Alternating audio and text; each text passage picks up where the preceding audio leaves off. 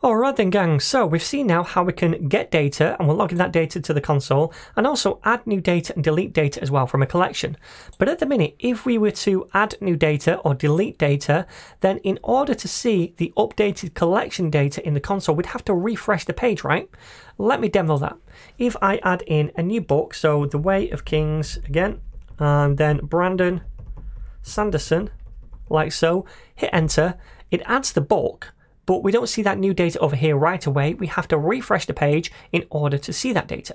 Now, if we were rendering this data to the browser so that it output on the screen in some kind of template, then the same would be true. We'd have to refresh the page after we added a new book in order to see that in the browser, right? So instead what we can do is we can set up what's known as a real-time listener or a subscription to the Firestore collection, which actively listens for changes to that collection so that if I was to add a new book or change a book or delete a book from that collection, then it would send back the updated snapshot or the updated date inside that collection right away once that happens. And then in our case, it would just be relogging it to the console.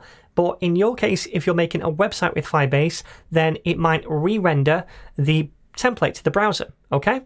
So I'm going to show you how we can set up this real-time listener or subscription to a Firestore collection in this lesson. Okay then, so currently we are getting the documents right here using this get docs function.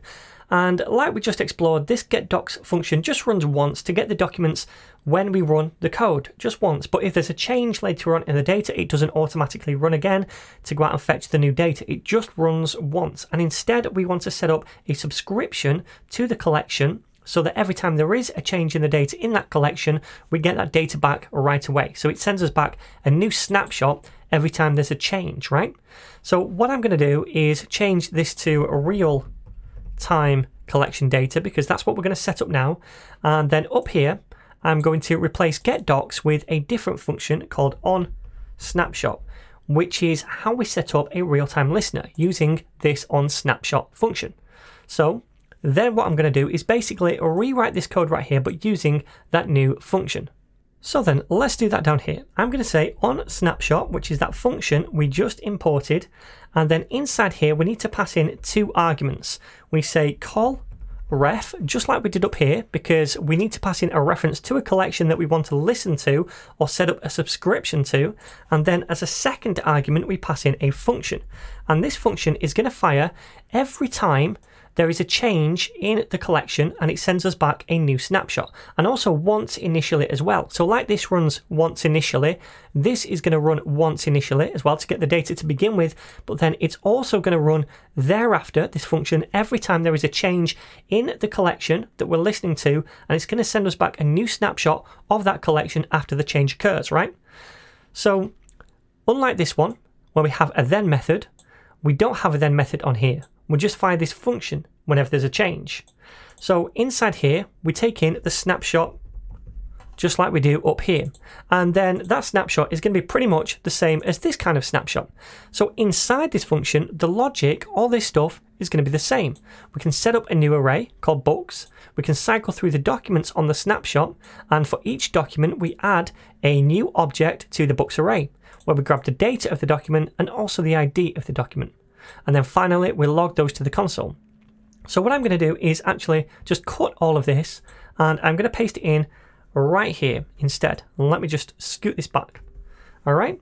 And that's all there is to it, my friends. So now I can delete all this where we just get the data once, and instead we're using this on snapshot function to listen to the data. So this function is going to go out and grab the data once to begin with and run this function when it gets it. So we log out the books to the console when we first load the page, but thereafter if I was to add a new book or delete a book, that would trigger Firestore to send us back a new snapshot and this function would run again so that we can output the books to the console again, the new updated data. All right, so I hope that all makes sense.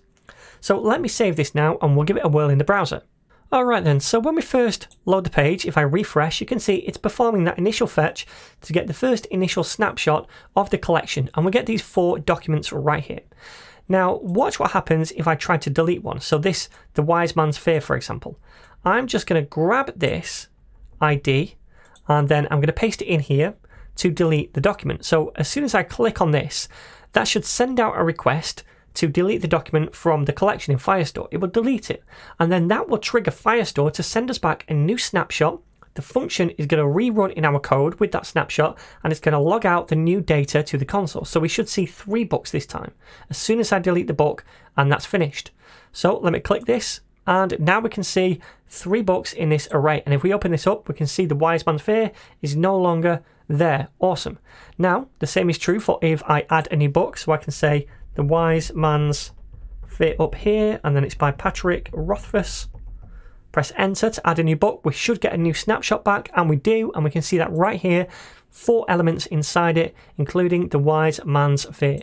Awesome. So that, my friends, is how we set up a real-time listener or a subscription to a Firestore collection to get real-time data back as events occur in the collection.